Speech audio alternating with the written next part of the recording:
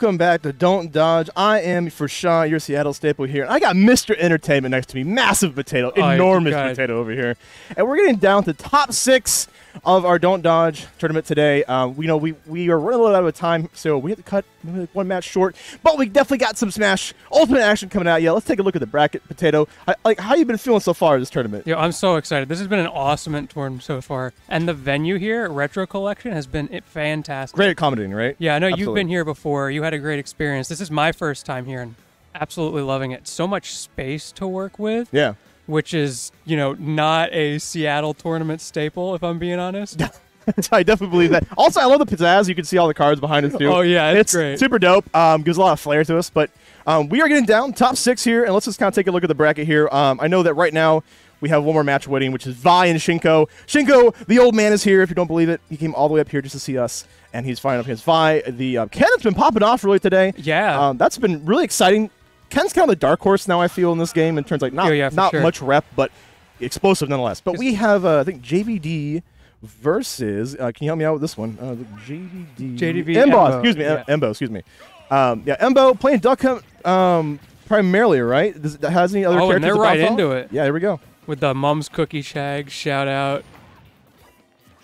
Uh, uh, I guess we're uh, jumping right into this game. Well, we still got top 16 on the overlay, but we'll get that Yeah, fixed. hope the audio is okay for you guys. I Can't really hear any, hear any game audio, but uh, hopefully it sounds okay on your end. That's all that matters. Yeah, just let us know in the chat if there's issues. Production will get it fixed. Shout out to production yeah, as always. yeah, absolutely. It's um, it's a tough thing, especially when you're working with a new venue. And uh, Chad and the TRC community have been doing great work here. But like I said, we're off to the next match, and we're having the zoner battle, right? We're having uh, this this wacky character that is like Duck Hunt versus uh, JVD, which is a monster of a player and a monster a Pac-Man. Yeah, I feel like it's so easy to look at sets like this and be like, oh, Pac-Man is just gonna run away and charge fruit, and Embo's just gonna try to zone break him and then throw cans at him. But there's so much more in the match that is just like those precise little interactions that make or break those zone break opportunities that Embo's going to have, how he places that can, how Pac-Man is able to get his hydrant down if he's able to, or if Embo can find ways past that before he even has the opportunity. JDV is one of those players who his main game plan is can I get my fruit charged? Like a lot of times if you see him on say Smashville, counter pick stages that people pick against him a lot of times because it's a small stage where he can't run away, he will voluntarily run off the stage and charge his fruit. And that's something that I think a lot of people are not ready for.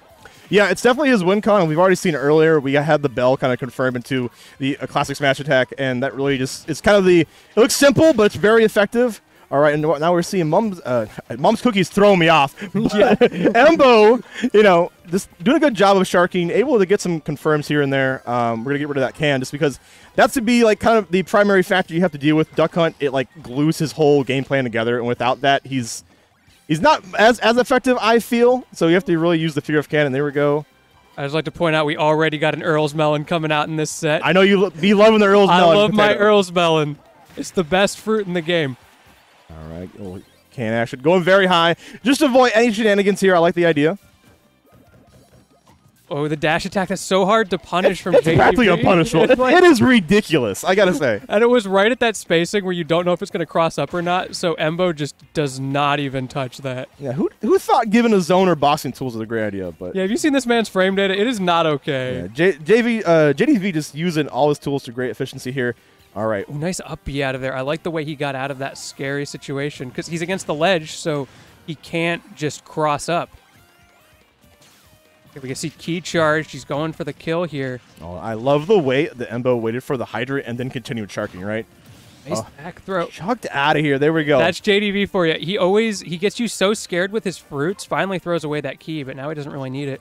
But honestly, a lot of times he's not trying to hit you with the fruit. He's trying to make you play a certain way around that. the fear, right? yeah, absolutely. fear. And he just gets the back throw and closes it out. Another thing, why did they give a zoner a kill throw? Oh, and the jab block is going to do some massive damage attack on, and gives them a chance to charge once again. I believe we do have the Galaxian. Oh, excuse me. What am I talking about? we got the bell, the classic, and you're out of here, JDV. Going up. Didn't even need Galaxian that stock because you got your typical bread and butter. If you're JDV here, you want to get Galaxian early, then you go to the bell, and then after that you go to the key, and those are like your your one two three combo. But Right. Yeah. completely breaks the mold there. Doesn't use it at all on that stuff. I think when those like l- last hit scenarios too, you can't give JDV what he wants, right? You can't just jump like from the ledge at the same timing. Otherwise, you're Yeah. just gonna get hit by the bell like you did before. So hopefully, as the set goes on, Embo like in those ten situations, just kind of hesitates, maybe just slight, but not just enough to give you know real estate away. Saw a bit of a, a player three coming in there. People remember to unplug your pro controllers and. Do you remember port priority last year? Oh, God. top Don't eight. remind me. there was that rogue pro controller that was getting low battery warnings in the corner. We are going to FD here. No platforms about it. And I think, honestly, hopefully this will give a little bit more leeway for Embo to kind of maneuver around the shenanigans that, you know, JDV wants to kind of throw out. It will certainly make Galaxian less of a threat. Sure, absolutely. The extensions will be kind of cut off. Great timing from JDV, but of the ex- can, extensions. Oh, my God. that win condition from Embo is just so potent. You know, that's, uh, you know, JDV talked about the interaction with Hydra against charging fruit, right? It, it clanks against the whole entire charge. And it sometimes can be a little inconsistent, but JDV knows how to, like, fight against yeah, that. it's so frustrating playing against JDV because he knows exactly how his own like janky shenanigans work. Right. So it doesn't work against him. Yeah, it feels like in this matchup too that Pac-Man has a better time walling out and like getting his win con more than I think Embo does. Embo's have to work a little bit harder, right? Yeah, because like Embo trying to contest that fire hydrant with say the gunman, it's so slow that JDV can get half a fruit charge off and then just run away and get another half off and he's set just while that gunman's coming out. There's not much you can do. Which really forces Embo to use this can to good effect, which we see here with the pressure. Manages to get the grab and force him off stage, and that can just comes right back. Okay, the can is set up. Okay, I like this time that we waited because we threatened the grab earlier, and that's how we were able to seal the up air this time. Embo doing a good job of conditioning too. He said, "I'm not the only one that can do it, brother."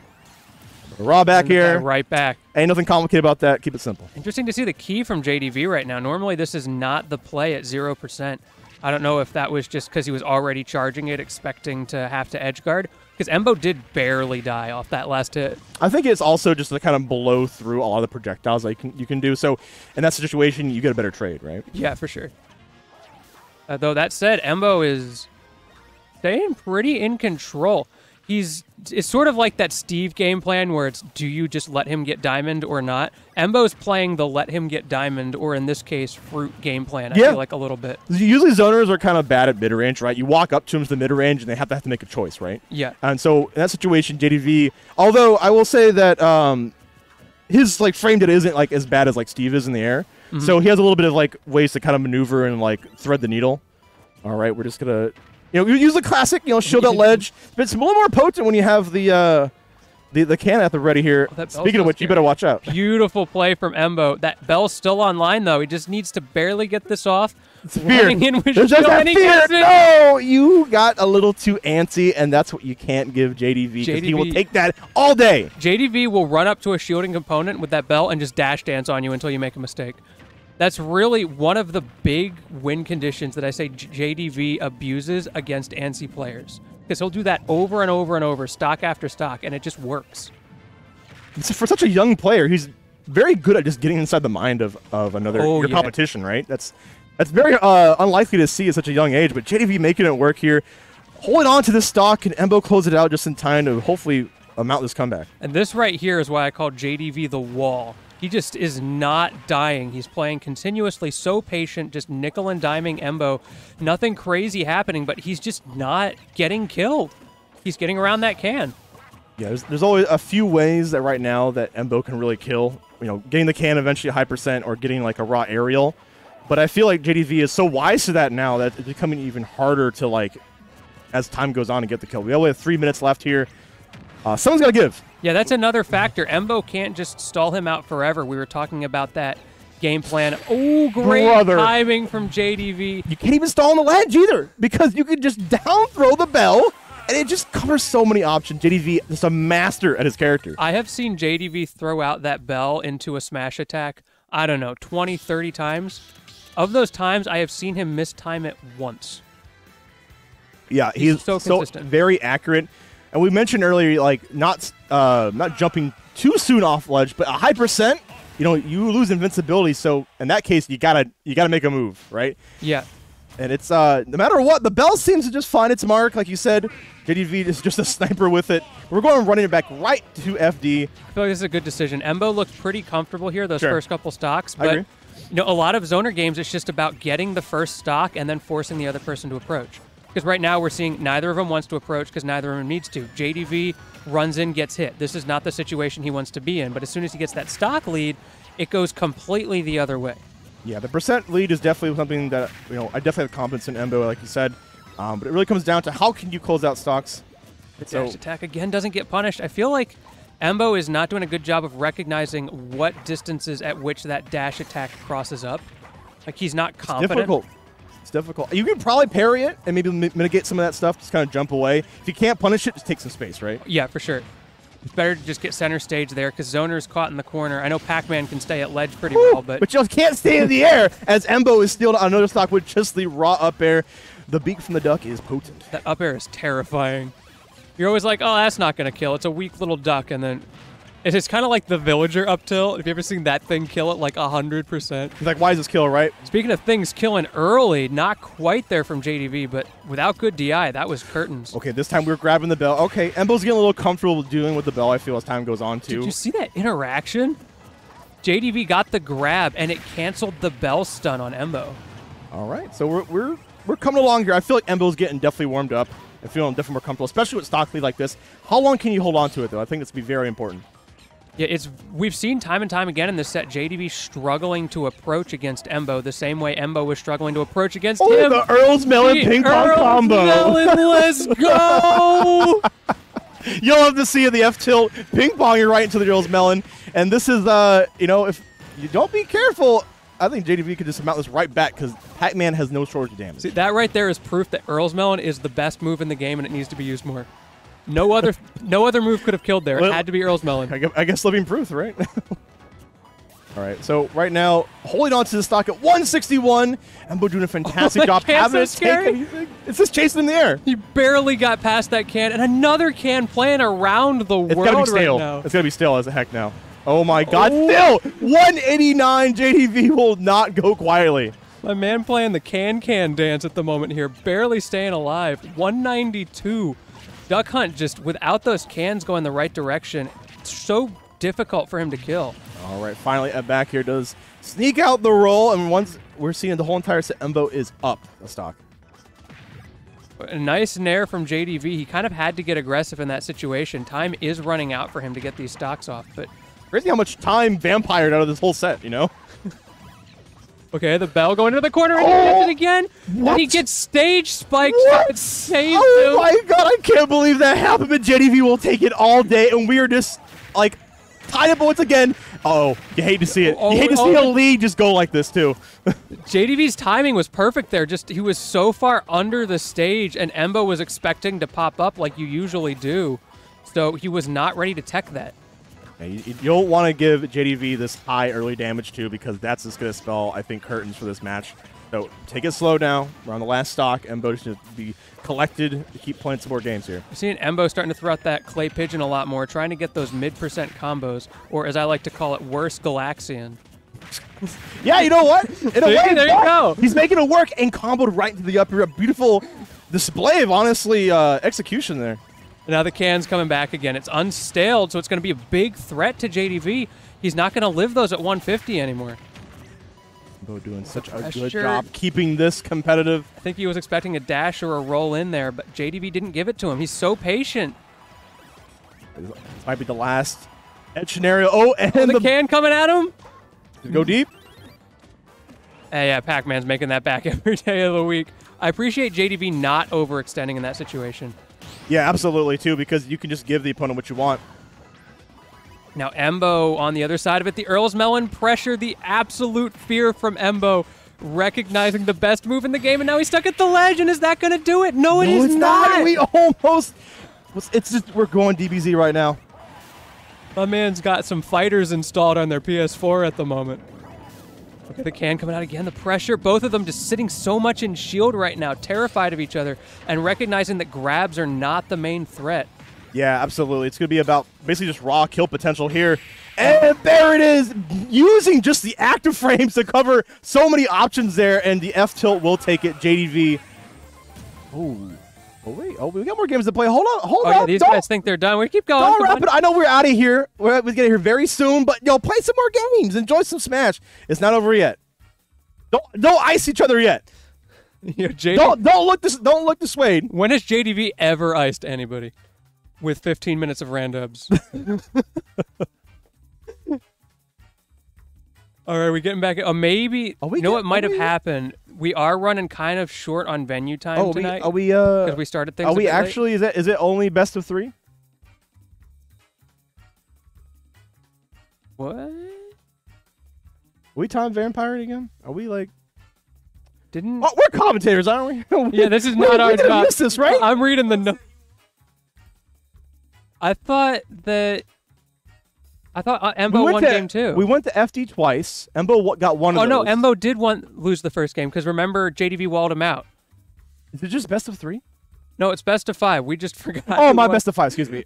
I thought we were like changing it up because we had to No, get out of no. here. Well, I swear we're we, we, we do this, guys. Don't worry about it. But there we We're go. just gonna blame production for that one. They Hey, put a. JDV taking it over Embo. So we're gonna be moving on. Our heads are just so empty. We see the the one one on the screen. The like, gears are turning, right? That Like, makes sense, of course. yeah. I'm too busy thinking about Earl's melons over here. what All a right. great set, though. JDV showing his ability to play both sides of that because we were talking about how it's difficult for the zoner who is down to approach.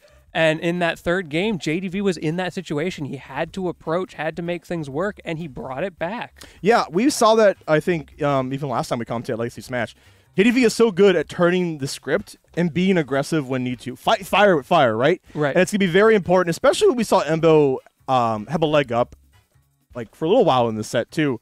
JDV is just so good at adapting um, different type of playstyles to make it work, especially with Pac-Man too, which is I feel like not the easiest, but he makes it work regardless. But Yeah. we're moving on, I think, onto the bracket here. We got to keep this locomotive going. Uh, top six here is going on. Oh, Vi did take it over Shinko. So Vi the Ken didn't move on. We also get H4 in Luchas as well. Um, ooh, did Vi have a DQ? Oh, So that's sad. That's too My bad. man was was taking names today. He He, actually cooking. won and done Shinko. He, he beat Shinko and then he He's took like, off. yeah, I'm out of here. That's all What I a was for. scumbag. No, I'm no, but Yeah, I actually saw on Twitter earlier. He was like, "Yeah, I'm gonna beat Shinko," and then I'm just I'm bouncing. he beat the old man, and then he was like, "I'm dipping, son." All right, but good stuff The Vi though. He really had a great showing Yeah. today. It was sad that we can't see more of the games, um, but we do have H4. I think the losers. Embo basically just gets to go on the losers semifinals, Yeah. just like that. So, um, Because this is not over for Embo. He could bring it all the way back. he can, he can. The way he's playing, I believe it. Right? Uh, we got JDV versus Pokepen. I think happening. Um, I think next, right? With yeah, winner, winners be finals. Winners finals next. If not, Embo versus um, whoever the winner of H4 and uh, JoJo is fighting Seesaw. So that match is still going for the 15 minutes. It might go even longer because I- you know how JoJo yeah, can play, right? JoJo So is like, it's a JoJo moment. Oh man. Already having a fun time here at your top six of Don't Dodge. Thank you guys for tuning in. Um, also, don't forget about Port Priority coming up very soon here. Yeah, you guys in November. register. Lucky number seven. Um, it's at a casino. Everybody's gonna be wearing the suit, suit. right? You know, I'm wearing my suit for commentary. ooh, a. I'm gonna look fancy. Goose said Oh, he might man. wear a tux even. We'll see. Hmm. Yeah. Okay. I see that. It's all James Bond themed. So Yeah, it is James Bond yeah. themed. All right. Yeah, I'm I'm looking very forward to Port Seven. Um, I've been a part of every single Port priority, and I'm lucky to commentate every single one. We got my man Massive Potato having the first big major one as well. Yeah, So real Catch my man on the mic as well. We'll be commentating when I think the likes of like EE, TK, Charles. There's so, so much great talent coming out. Make sure to tune in for that